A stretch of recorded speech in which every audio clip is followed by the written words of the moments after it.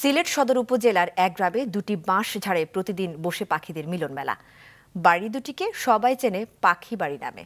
ভালোবেসে পাখিদের আগলে রেখেছেন বাড়ির মালিকরাও। সিলেট থেকে সুব্রদাসের পাঠানো তথ্য ছবিতে ডেস্ক রিপোর্ট।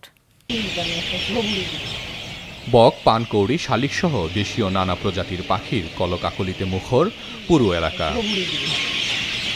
সদর উপজেলার খাদিমনগর ইউনিয়নের লীলাপাড়া গ্রামের শামশিদ আলী ও কামাল উদ্দিনের বাগান বাড়িতে নির্ভয়ে বিচরণ তাদের।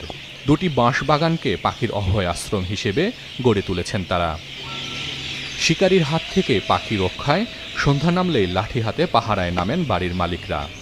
ঝড় তুফানে বাচ্চা গাছ থেকে পড়ে গেলে বাসায় তুলে দেন। আমরা সতর্ক থাকি। আমরা কেউ দেখি কেউ লাইট মারছে, আমরাও আমরাও যাই। জি আমরাও তাড়াইয়া দিই। ওই চাইও আমরা পাখি এগুলো হাত দিবে না তোমরা। এগুলো নীরব বইছে ইয়া বাচ্চা কাচ্চা এইগুলা লিয়া বলছি এত সবের পরেও শিকারীর কবল থেকে পাখি রক্ষা করা সম্ভব হয় না। মাছ ও ব্যাঙে বিষ মাখিয়ে পাখি শিকারের চেষ্টা চালায়। প্রতিবাদ করলেই বাধে ঝগড়া বিবাদ। তারপরেও পাখিগুলো নিরাপদে রাখার চেষ্টা করেন পরিবারের সদস্যরা। কিছু মানুষের সমস্যা করে। আমরা অনেক বিরক্ত করে। বেশি অংশে যে চৈত বৈশাখ মাস যখন আসে, তখন এই যে পাড়াপড়শি মানুষ আছে না, তারা দরিয়া নিতে করি অনেক চেষ্টা করে, তখন আমরা বাধা বাধা দেও অথবা তারার লোকে ঝগড়া সৃষ্টি হয়। দীর্ঘ দশ থেকে পনেরো বছর যাবৎ আছে। এগুলা দেখাশোনার পক্ষে মানে আমরা কোনো কিছু নাই।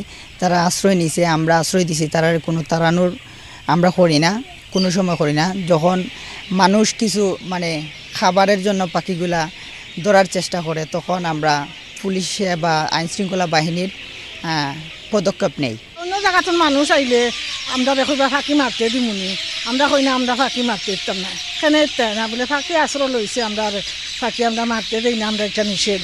আমরা সরকারও জানাইয়া রাখছি পরিবেশ কর্মীরা মনে করেন পাখিদের আশ্রয়স্থল রক্ষায় বাড়ির মালিকের পাশাপাশি পরিবেশ কর্মী সহ সবাইকে একসাথে কাজ করা উচিত।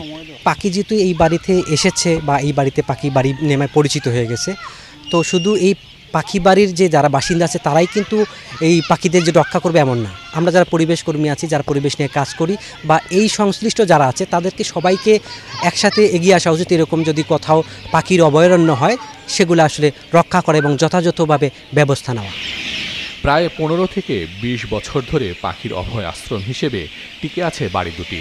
ফেব্রুয়ারি থেকে জুলাই মাসে পাখির উপস্থিতি বেশি থাকে। Maasranga news desk.